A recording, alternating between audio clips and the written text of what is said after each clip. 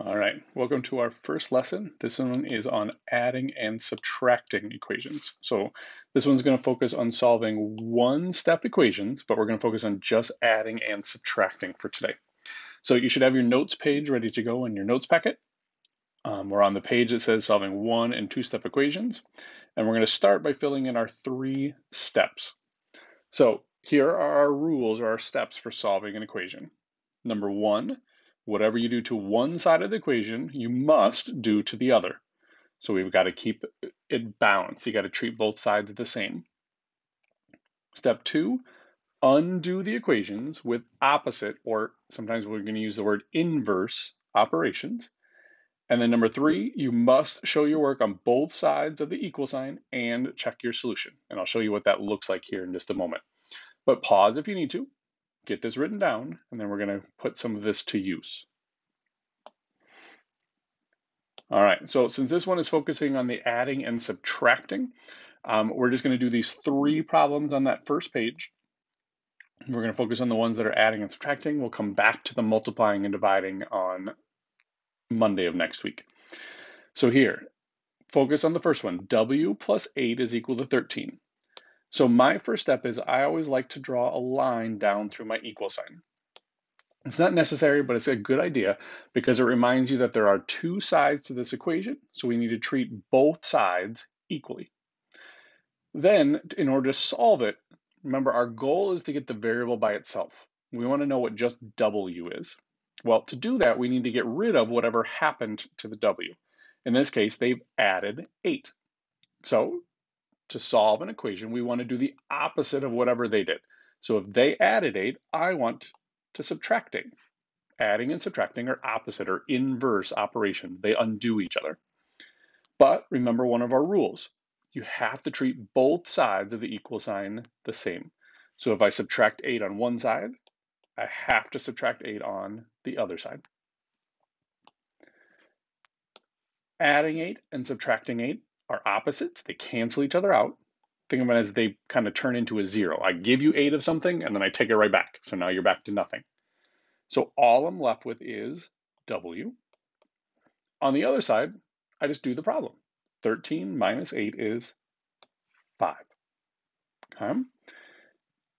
When I'm done, I always want to go back and do a check. Did I do this problem correctly?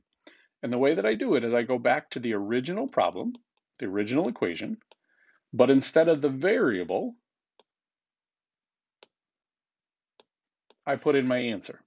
I plug in 5 in place of w. Well, 5 plus 8 really is 13. That's what I wanted, so I know I'm good. So next one, negative 9 is equal to y minus 6. So I'm going to start by drawing that line down through my equal sign. And I always want to focus on the side where the variable is. So what did they do to y? Well, they subtracted away 6. So to solve an equation, I want to do the opposite. I want to undo it. The opposite of subtracting 6 is to add 6. But I've got to do that to both sides in order to keep my equation balanced. Here, subtracting 6 and adding 6 cancel each other out. They turn into 0. So I'm just left with y. And then on the other side, I do the math. Negative 9 plus 6. Different signs subtract and take the sign of the bigger number. Here, if I want to do a check, I'm going to plug in negative 3 in place of y. So negative 3 minus 6. Well, negative and the subtracting don't get along, so I'm going to change it into adding the opposite. Negative 3 plus negative 6 is negative 9. That's what I wanted, so I know I did it correctly. All right, one more here on this page. Let me scroll down here. So 7 plus x is equal to negative 8. So again, I'm going to draw my line down through my equal sign.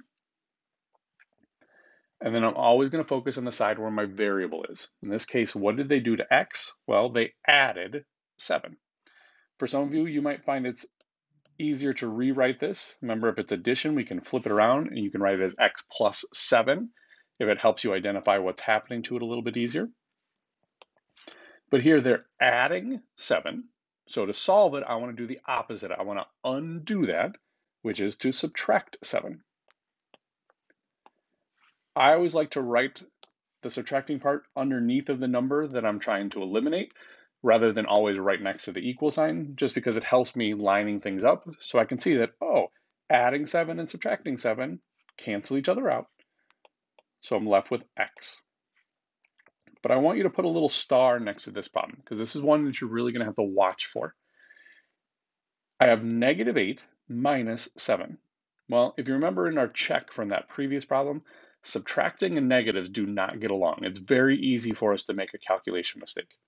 So in this case, instead of leaving it as subtraction, I'm going to change it into adding the opposite, just like we did in our whole integers unit. Subtracting can very easily be written as adding the opposite, and now we can go ahead and tackle the problem. Negative 8 plus negative 7 is negative 15. Then we do a quick check. We plug our negative 15 back in place of x. So 7 plus negative 15. Well, they have different signs, so I'm going to subtract. 15 minus 7 is 8. And I'm going to take the sign of the higher number as negative 8. That's what I wanted for my answer, so I know I did it correctly.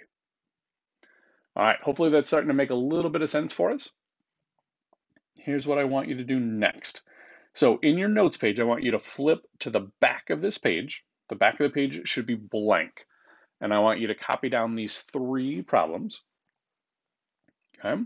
Then I want you to hit pause in the video and I want you to try solving these three for yourself. Then when you're ready, hit play and then you can watch me as I'm solving them. All right, so hopefully you took a chance to try solving these for yourself. Now I'm going to work my way through solving them and see how you match up with mine. Remember, you've got to show all of this work, including the check, every single time. There's no shortcuts on this. So I'm going to draw my line down through the equal sign. I'm going to focus on the x, x minus 5. So they're subtracting 5 from x. So I want to do the opposite, which is to add 5. But in order for my equation to stay balanced, I've got to treat both sides equally. Subtracting 5 and adding 5 cancel each other out, and I'm just left with x. 16 plus 5 is 21. And then I can do a quick check. I'm going to put 21 in place of x. 21 minus 5 really is 16. That's what I wanted. So I know I did it correctly. Next one. This one's a little tricky because some people are going to have a hard time focusing on what they need to attack. But remember, always focus on the variable, what's happening to the variable. Well, in this case, x is, we're adding 25 to our x. Well, the opposite of adding 25 is subtracting 25.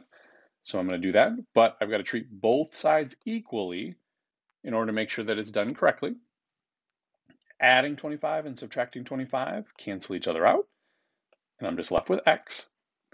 40 minus 25 is 15. To do my check, I'm going to put 15 in place of x, and I'm going to do the problem. 25 plus 15 really is 40, so I know I did it correctly.